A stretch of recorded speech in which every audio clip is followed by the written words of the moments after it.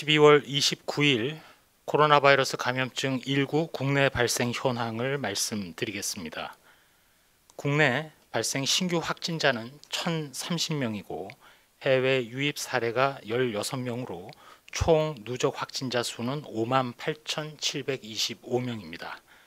이 중에는 수도권 임시 선별 검사소에서 검사한 48,512건 중 확진된 119명이 포함되어 있고 의심 신고 검사자 건수를 다 합하여 어제 총 검사 건수는 10만 8,386건의 검사가 이루어졌습니다.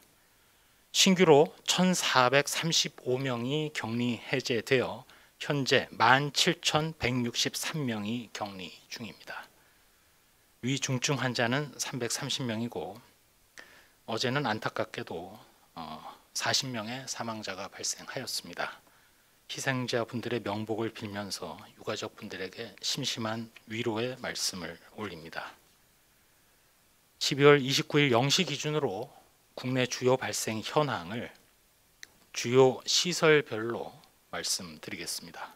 먼저 서울 송파구 교정시설과 관련하여 추적 검사 중 233명이 추가됨으로써 현재까지 총 762명의 누적 확진자가 발생하였습니다.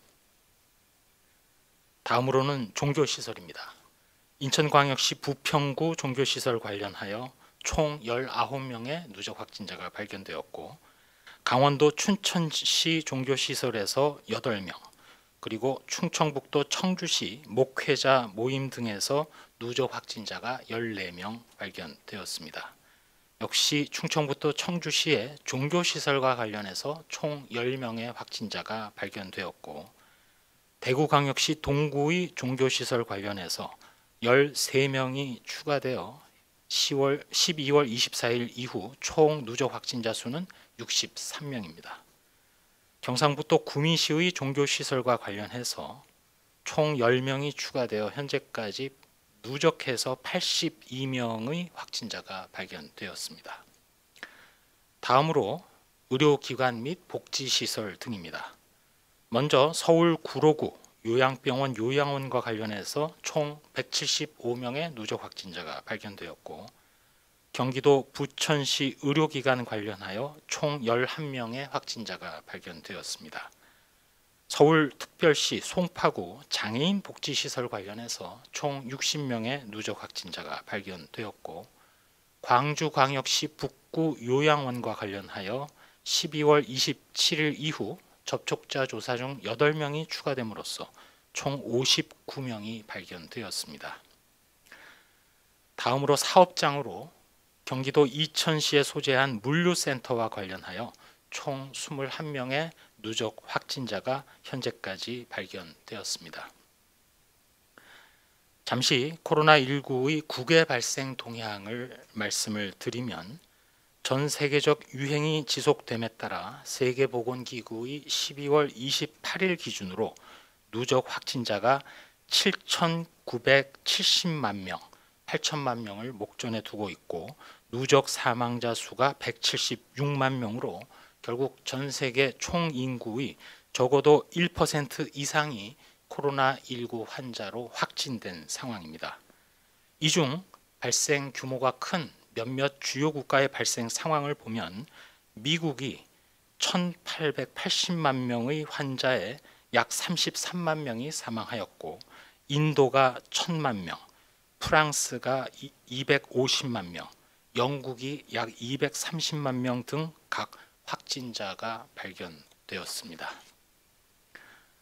이러한 해외 상황과 함께 저희 중앙방역대책본부에서는 최근 영국 발로 입국한 확진자 3명의 검체에서 변이 바이러스가 확인되었음을 이미 말씀드린 바 있습니다. 역학조사 결과 접촉자는 현재까지 총 17명으로 모두 기내 접촉자이며 승무원이 12명, 승객이 5명입니다. 현재까지 잠복기가 다 끝난 것은 아니지만 검사 결과는 모두 음성으로 확인되었고 자가 격리 및 증상을 철저히 모니터링하고 있습니다. 이러한 코로나19 변이 바이러스의 국내 유입 차단을 위해서 발열 기준을 강화하고 격리 해제 전 진단 검사를 확대하며 영국발 항공편을 1월 7일까지 한시적으로 중단하면서 PCR 음성 확인서 제출 의무화 그리고 비자 발급 제한 등의 조치를 영국 및 남아공에 대해서 실시하고 있습니다. 동시에 확진자에 대해서는 변이 바이러스 유무를 확인하기 위해서 전장 유전체 분석을 계속 진행하고 있습니다. 다음으로는 연구 개발 분야의 치료제 및 백신 개발 현황 등을 설명드리겠습니다. 먼저 렌데시비루와 관련해서는 전체 99개 병원에 2,450명의 환자에게 공급이 되었습니다. 국내에서 현재 임상 이상을 12개 의료기관을 대상으로 진행하고 있는 혈장 치료제는 목표로 하는 60명의 임상시험 환자에 대해서 현재 53명의 환자에게 투약이 완료되었습니다. 다음으로 항체 치료제 임상 시험과 관련하여 현재 임상 이상의 결과 분석 후에 조건부 승인을 신청하고 동시에 그 결과를 토대로 앞으로 3상 임상 시험을 진행할 예정으로 있습니다. 동권에 대해서는 어, 식품의약품안전처에서 별도로 자세히 바로 말씀드리겠습니다. 또한 항체 치료제와 관련해서 임상 시험과는 별개로 의료 현장에서 환자 치료를 위해서 의료진의 의도와 또 환자의 동의에 따라 항체 치료제의 치료 목적 사용이 식약처로부터 두 건 승인되어 각각 투약되었습니다. 지난 12월 11일에 서울 아산병원, 12월 22일에 인제대학교 상계 백병원이 그 대상입니다. 또한 질병관리청 국립보건연구원에서는 국내에서 개발 중인 코로나19 DNA 백신의 국내 임상 시험의 면역 원성 분석을 지원합니다. 이 부분 관련해서는 중화 항체 그리고 T세포의 면역 반응 측정 등을 임상 시험 종료 시까지 최우선하여 지연하고 진행할 예정으로 있음을 말씀드리면서 이러한 치료제 그리고 백신의 임상 시험에 있어서 가장 중요한 점은 환자의 모집 또 백신의 경우에는 자원자의 모집으로 이를 극복하기 위한 다양한 방안을 추가로 마련하고 있으며 임상에 참여하는 의료기관 그리고 의사분들을 비롯한 의료진들의 적극적인 참여와 협조를 계속 부탁드립니다.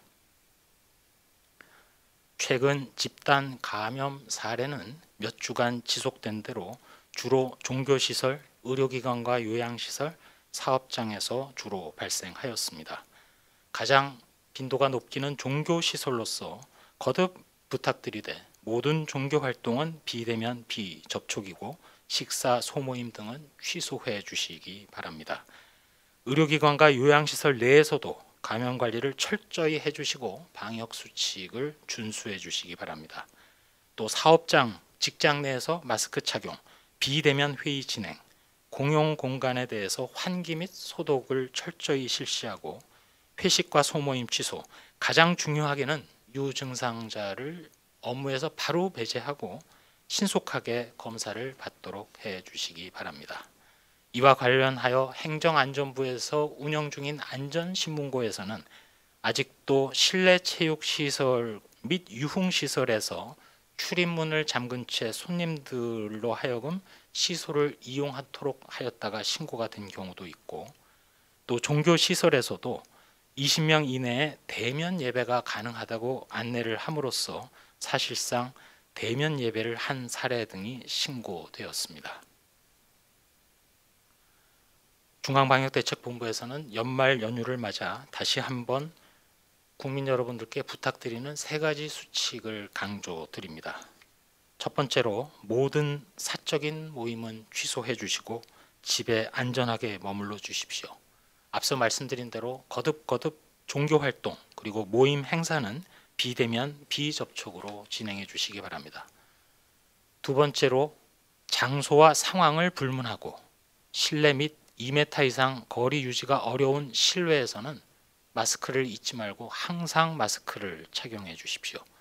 추가해서 마스크를 벗어야 하는 식사, 음주, 흡연과 같은 상황은 피해 주시기 바랍니다. 마지막 세 번째로 발열, 호흡기 증상 등 의심 증상이 있을 때에는 신속하게 선별 진료소, 임시 선별 검사소 등을 방문하여 검사를 받아 주실 것을 당부드립니다. 끝으로 의료기관에 부탁을 추가로 드린다면 코로나 의심 환자 또는 호흡기 증상 환자가 내원할 경우 검사 의뢰서를 적극 발급하여 현재 코로나19 외에 호흡기 유행이 특별히 다른 감염병이 없는 관계로 코로나19를 가장 먼저 의심해 주시고 의심 환자가 선별 진료소에서 별도의 문진 절차 없이 신속하게 검사를 받을 수 있도록 적극 협조해 주시기 바랍니다. 한 말씀 올리도록 하겠습니다. 국내 신규 확진자 발생 규모가 다시 네 자릿수입니다. 금일 사망자 규모가 40명으로 코로나19 발생 이후 가장 큰 규모입니다. 특별히 이번 12월 한 달 동안 발생한 사망자 분들이 많습니다. 유행 규모, 규모 가 커지면 감염이 취약시설인 요양병원, 요양시설 등으로 이어져서 거동이 어려운 고령자분들의 인명피해가 시차를 두고 조금은 늦게 나타나고 있습니다. 방역당국의 실무자로서 면목 없고 깊은 사과를 드립니다. 전 세계가 여전히 매일 40만 명 이상 신규 환자가 발생하는 코로나 유행 속에 갇혀 있습니다. 비록 우리나라는 상대적으로 나은 상황이라 하더라도 거리두기의 그 어려움 또 방역 수칙 준수를 위한 인내 모든 국민들의 참여와 협조를 생각한다면 하루라도 빨리 상황이 호전되도록 연말연시 방역 대응에 더욱더 집중하겠습니다.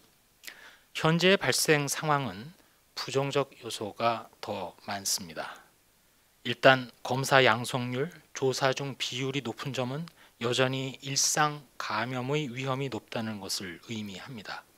무엇보다도 최근에 영국과 남아프리카 공화국에서 등장한 변이야말로 언젠가는 전 세계적인 유행을 주도할 것이기에 전체적으로 코로나19 대응은 갈수록 어려워진 것이 사실입니다. 그렇지만 긍정적인 요소도 있습니다. 먼저 의료계의 적극적인 협조로 의료 대응 체계가 건재합니다. 연구 개발 분야의 종사자들의 끊임없는 노력으로 국산 치료제도 가시권에 있습니다. 역학적으로 보면 작업장이나 다중 이용 시설 등에서 신규 발생이 감소하고 있고 전체적으로 재생산 지수도 감소 추세입니다. 이는 거리두기가 효과를 보이기 시작한다는 반증입니다. 동시에 국민들께서 희생하고 단합해 주신 결과입니다. 앞으로 동절기 한파로 인해서 외출을 자제해야 될 환경이고 동시에 학교 방학 등을 거리두기 동력으로 이어가면서 검사와 추적 역학 조사를 통한 방역을 강화하고 그리고 내년 2월경부터 순차적으로 시작될 코로나19 백신 접종 또한 그 이전에 가용하리라고 생각되는 충분한 국산 치료제 등을 통해서 코로나19 감염 억제의 선순환 고리가 만들어지면 앞으로 시간이 갈수록 코로나 상황은 호전되리라고 믿고 있습니다. 언젠가는 반전도 될 것이라고 조심스럽게 기대를 해보고 그렇게 되도록 최선을 다하겠습니다. 금년 2020년을 돌아보면 브리핑 할 때마다 숫자로만 언급되는 사망자 통계가 가장 가슴 아픕니다. 결국 방역 대책을 열심히 하는 최종 목표는 귀중한 생명을 지키는 것인데 희생자가 갈수록 증가하기 때문에 이 점이 가장 힘들고 송구한 마음입니다. 다시 한번 모든 유가족 분들에게 깊은 위로의 말씀을 드리면서 저희 방역 당국 코로나19 희생자 규모가 최소화되도록 모든 역량을 집중하고 각고의 노력을 계속하겠습니다.